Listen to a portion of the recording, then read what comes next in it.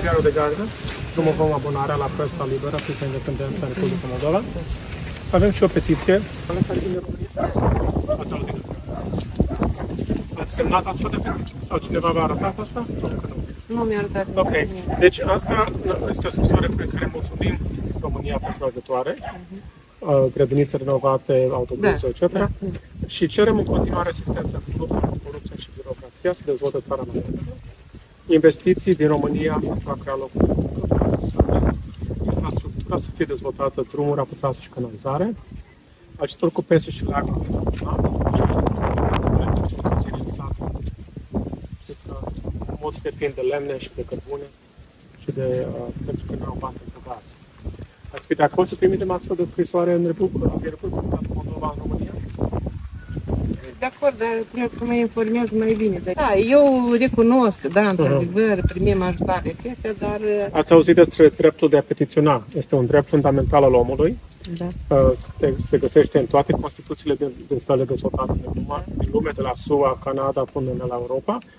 Și articolul 52 din Constituția Republicii Moldova spune că cetățenii au dreptul să se adreseze autorităților publice prin petiții, adică scrisori, numai, formulate numai în numele semnătorilor. Doar cu un nume dumneavoastră putem să trimitem astfel de scrisoare, dacă doriți.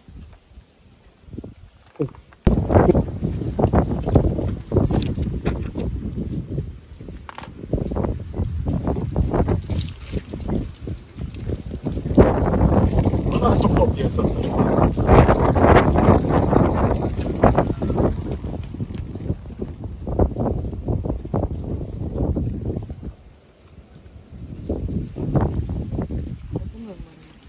Cam că eu de acord.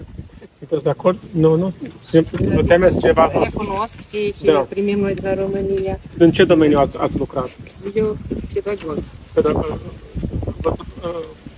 uh, uh, profesor, da? Deci eu am, e ca de la 21 noiembrie, eu am uh, ziarul de gardă. de gardă. Mi-au luat interviu, știam cu undeva, "Ui, unde să fie, dar domnule ei aveau un microfon negru. Știți, toate microfoanele acestea este TV8, jurnal Da, da, TV, da, da. dar acesta eu atât am memorizat că era microfonul negru la culoare. Și nu scriați Eu. ZDC pe el? Nu, nu scrie. Și eu am uh, rotit filmuleț de la 20, 21 mai de la adunare, zic, undeva trebuie să fie interviul meu. Și când încolo au apărut. A- Apropo de, de petiția asta, dumneavoastră ce părere aveți despre România?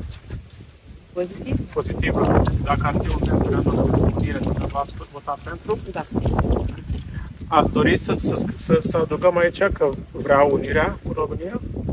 În această scrisoare adresată? Da, numai decât. Da? În, în Europa noi să ajungem cât mai repede prin România. Vreau Unirea cu România. Asta e opinia mea.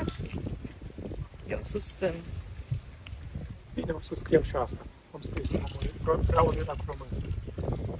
Vă mulțumesc foarte mult pentru asta.